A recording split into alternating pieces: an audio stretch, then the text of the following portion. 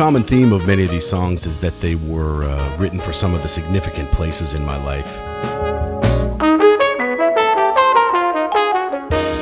The title track, Dark Blue, is a ballad, and it's one of my rare attempts at ballad writing. That last one for the first A and the voice for the second A. Is that cool?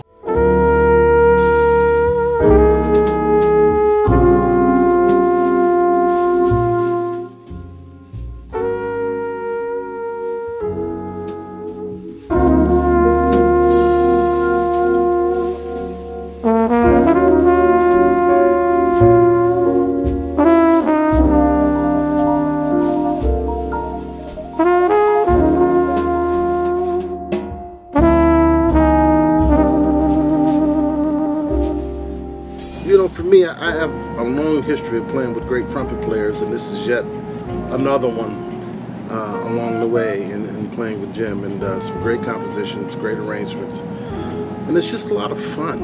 It's rare that a group gets to play for three nights in a row and then make a recording. I think we all have a connection to the music in that sense, and, and everybody's happy to be playing.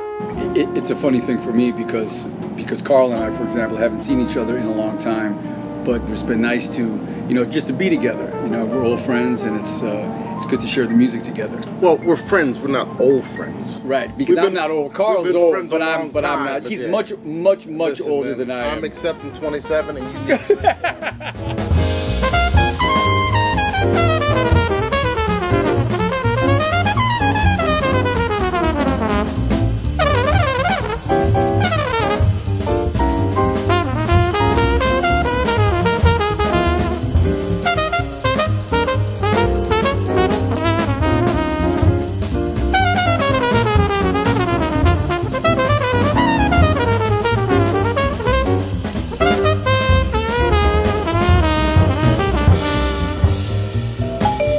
turns out it's exceeding my expectations. I mean, these, this, all of this is sounding, you know, fantastic, larger than life, and uh, I'm, I'm very, very happy about it.